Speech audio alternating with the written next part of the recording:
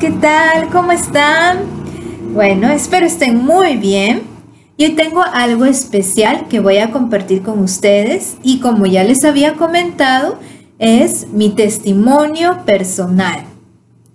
Quiero comenzar mostrándoles una foto de mi familia. Aquí les presento, aquí estoy yo, mi mamá, mi papá y mi hermanito. Y les cuento pues que mi familia siempre ha sido muy unida, ¿no? Como verán, salíamos de paseo muy seguido, cada feriado, cada domingo. Una familia muy bonita. Sin embargo, sucedió algo en mi vida, ¿no? Que causó mucha tristeza en mi corazón. Em, cuando yo tenía nueve años, mi mamá y mi papá, en realidad, ellos comenzaron a tener problemas de matrimonio. Y aunque no, no se mencionaba nada acerca de esto, había una situación algo tensa. Y yo no sabía absolutamente nada, pero era algo que se percibía y ello causó tristeza en mi corazón. Un dolor que no sabía quizá de dónde venía. Entonces, les cuento que a mis nueve años, eh, yo estudié en un colegio de monjas, a mis nueve años estaba en cuarto grado e hicimos la primera comunión. Aquí les muestro una foto en mi primera comunión. Lo que más me gustó de la primera comunión fue aprender las canciones infantiles eh, cristianas porque me ayudaron mucho. Yo soy muy sensible a la música, a la letra y me ayuda mucho en momentos de dificultad cantar. ¿No? Es como que me da una paz al corazón y desde niña aprendí a recurrir a la música para esto. Entonces, a mis nueve años de edad, yo tenía problemas para dormir. En realidad, em, recuerdo que cada noche era muy difícil para mí porque sentía, me sentía sola. Y eso era lo que no me dejaba a mí dormir. Tenía que ir al cuarto de mi papá para decirle que me deje dormir con él. Pero esto no era posible todas las noches y a mí me daba ganas de, de echarme al piso y dormir ahí al lado de él porque no quería dormir sola, pero no era posible. Y entonces en mi cuarto, en mi cama, lloraba. Y sentía esta tristeza, tanto así que recuerdo que tenía una virgencita en mi pared y la bajaba de allí y la abrazaba porque había aprendido en el colegio católico a respetar a la Virgen. Y al abrazarla yo esperaba que me diera consuelo, que, que secara mis lágrimas. Y era así como pasé la edad de nueve años. Recuerdo que pasaron, pasó el tiempo y mi mamá eh, comenzó a experimentar también una podríamos llamarlo una depresión, gracias al Señor que ella comenzó a recibir estudios de la Biblia eh, con una prima y ella conoció la iglesia adventista. Entonces decidió cambiarnos de colegio a mi hermano y a mí. Y wow, esa fue, esa fue una decisión muy buena porque les voy a contar qué es lo que aprendí en este colegio. Como verán en esta foto, Aquí estoy en mi nuevo colegio. Aquí estoy en sexto grado de primaria. Entonces, ¿qué sucedió eh, conmigo a esa edad? Pues esos sentimientos de tristeza, de soledad, no se fueron. Quizás se aplacaron un poco, pero en sexto grado ya comenzó a ser más intenso, más intensos los sentimientos de depresión. Tanto así que sentía que estaba enferma, sentía físicamente un dolor en mis rodillas que me hacían pensar que tenía un cáncer a los huesos o que quizá tenía, mm, por otro lado, tenía problemas de visión y yo pensaba que me iba a quedar ciega o también pensaba que quizá tenía un tumor en el cerebro y, era por eso que a veces tenía dolores de cabeza, comenzaba a exagerar pequeños síntomas y en mi mente de niña yo pensaba que estaba desahuciada y que si yo le contaba a mis papás de esto, ellos me iban a llevar al médico y me iba a decir que me quedaban pocos días de vida. Era algo muy angustiante, ¿no? Ustedes quizá dirán, ah, ¿cómo así pudo pasar esto? Pero es algo real que yo ahora lo cuento y yo puedo decir que esa época de mi vida ha sido una de las más oscuras, ¿no? a, a mí en mi niñez porque más adelante ya van a ver cómo el Señor me sacó de todo ello y me hizo tener una vida abundante y feliz cuando aprendí a depender de Él. Entonces, eh, lo que sucedió en este colegio fue que comencé a aprender a leer la Biblia. Tuve mi primera Biblia y sentía mucha curiosidad de leerla.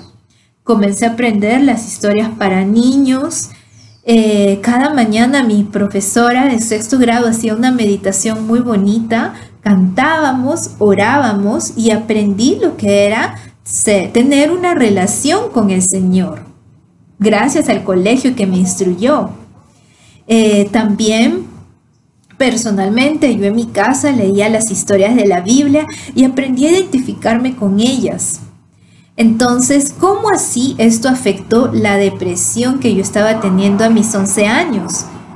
Les quiero contar que una vez, eh, o mejor dicho, muchas veces yo me encerraba en el baño para llorar porque me sentía triste y no quería que nadie lo sepa. Yo no le había contado absolutamente a nadie de mis sentimientos de tristeza y soledad que me daban, me hacían sentir hasta pánico, ¿no? De estar despierta en las noches porque no podía dormir. Entonces, eh, un día, eh, bueno, leyendo la Biblia encontré un salmo que tocó mi corazón porque me pude identificar con este salmo. Es decir, pude hacerlo mío, pude personalizarlo y quiero compartir este salmo con ustedes. Es el Salmo 6. Y voy a leer algunos versículos de este salmo. Dice, Ten misericordia de mí, oh Jehová, porque estoy enfermo. Sáname, oh Jehová, porque mis huesos se estremecen. Eso era lo que yo sentía. Yo sentía que estaba enferma, que mis huesos me dolían, se estremecían y clamaba a Dios por sanación. Mi alma también está muy turbada.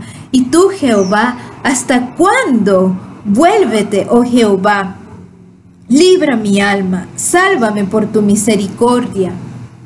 Aquí yo estaba clamando al Señor por su salvación, para que quite de mí esos sentimientos de soledad, de angustia, que pueda tener una niñez feliz. Era lo que le pedía al Señor. Me he consumido a fuerza de gemir. Todas las noches inundo de llanto mi lecho, riego mi cama con mis lágrimas. Esa era también mi oración al Señor. Era lo que yo hacía en las noches. Yo lloraba, llenaba mi cama de lágrimas, por así decirlo. Y luego el Salmo dice, apartaos de mí todos los hacedores de iniquidad, porque Jehová ha oído la voz de mi lloro, Jehová ha oído mi ruego, ha recibido Jehová mi oración. Esa última parte era mi esperanza. Yo confiaba en que el Señor oyera mi lloro, mi ruego y mi oración. Y eso era lo que me hacía sentir una paz en el fondo de que esos sentimientos y ese periodo oscuro iba a pasar en mi vida, aunque no sabía cuándo, pero sabía que iba a pasar, porque comencé a confiar en el Señor y es lo que aprendí a esta edad. Entonces, ¿qué sucedió al final de mis 11 años? pues les cuento que poco a poco esos sentimientos de depresión, de soledad, de angustia, comenzaron a desaparecer. Gracias al Señor, eso desapareció de mi vida. Y cuando cumplí 12 años en adelante, no volví a experimentar lo mismo. A pesar de que mis papás siguieron en problemas y mi papá se fue de, de mi casa cuando yo cumplí 14 años, a esa edad también me bauticé en la iglesia adventista y fue para mí un momento muy especial porque pude enfrentar eh, la partida de mi papá con tranquilidad, porque yo decía, el Señor está permitiendo todo esto por algo. Y aparte, yo no me quedo sola. Yo tengo a mi Padre Celestial, el cual secó mis lágrimas cuando tenía nueve años, el cual me sacó de una depresión cuando tenía once años.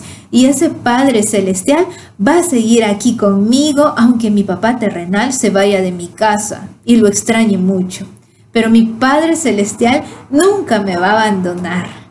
Tenía tanta seguridad en ello y tenía ya construida una amistad con mi padre que no me afectó tanto la partida de mi papá, ¿no? Por lo cual había sufrido, quizá por el temor a que eso suceda los años anteriores. Pero el Señor me estaba preparando para esto con la amistad que me dio durante mi niñez. Y así fue que los años que vinieron yo ya estaba mucho más firme en el Señor debido a esta experiencia que tuve para poder enfrentar futuras pruebas. Todo, toda persona enfrenta pruebas y hay cosas muy duras en la vida, ¿no? Ah, bueno, no voy a contar qué otras cosas sucedieron, pero de hecho eh, el hecho de tener una experiencia así en un punto de tu vida, no importa si es en la niñez, si es en la adolescencia, si es en la adultez, lo importante es que tú tengas un encuentro personal con el Señor, como el que yo tuve a mis 11 años, que conozcas, que sientas quién es el Señor, que sientas ese abrazo, que Él seca tus lágrimas, que Él hace milagros en tu corazón cuando sientes que todo es oscuro él te da un rayo de luz y luego amanece y aparece el sol. Es Jesucristo, nuestro sol de justicia. Esa fue mi experiencia. Y como te digo, yo mi deseo para ti es que tú también puedas tener esa misma experiencia en algún momento de tu vida. Ahora quiero contar cómo pasé el resto de años hasta ahora y qué fue lo que decidí porque yo estaba tan, tan agradecida con el Señor de haber sido salvada de esa angustia y de futuras angustias mayores, ¿no? O sea, estaba tan agradecida que yo decía, yo quiero contar a todo el mundo lo que he encontrado en la palabra de Dios, yo quiero contar a todo el mundo para que la gente que está sufriendo también tenga este alivio que yo experimenté. Entonces, más adelante, les cuento que entré a la universidad y me gradué de ingeniería industrial. Y allí, estando en la universidad, fue que recibí un llamado del Señor para dedicar mi vida más de lleno a Él. Quería entregarme completamente a su servicio. Pero yo decía, ¿y ahora qué hago? ¿Cómo así? ¿Cómo así canalizo mi deseo de servirlo más plenamente? Y vino a mí la oportunidad, después de mi graduación, de viajar a un instituto bíblico, el cual les conté al inicio, ¿no? Un instituto que prepara misioneros en Estados Unidos, Virginia. Aquí les muestro la foto. Estoy aquí con mi mamá cuando ella fue de visita. Harlan Institute Aquí eh, van muchos muchachos de varias partes del mundo, como verán en la siguiente foto. Aquí estoy con algunos compañeros de estudios, estamos eh, volviendo de la huerta, donde aprendíamos también lo que es agricultura orgánica. Eh, muchas cosas muy interesantes y prácticas. Y entonces llegué a este lugar y la rama que yo elegí de preparación fue la rama eh, de salud. Como verán en la siguiente foto, aquí estoy con un uniforme. Aquí estábamos aprendiendo en un albergue para personas mayores, donde se les atiende eh, ¿no? en su salud. Y aparte de esto también eh, aprendí lo que son, como les comenté, las terapias naturales, eh, la nutrición y todo lo relacionado al área natural en la salud, ¿no? Es algo muy práctico que nos prepara para servir al mundo, ¿no? Aparte de la instrucción bíblica que recibimos allí. eh, tuve esta gran oportunidad de viajar allá y esa fue, para mí, fue una respuesta clara de Dios a mis oraciones de cómo ahora voy a dedicar mi vida a tu servicio, Señor. El Señor puso este instituto misionero en mi mente y en mi camino y abrió las puertas para que yo pueda llegar allí. Y es así como el Señor cumplió mi deseo de que yo pudiera dedicarme más de lleno a su servicio. Les quiero mostrar la última foto. Esta última foto yo estoy em, en Boston, estoy tocando puertas.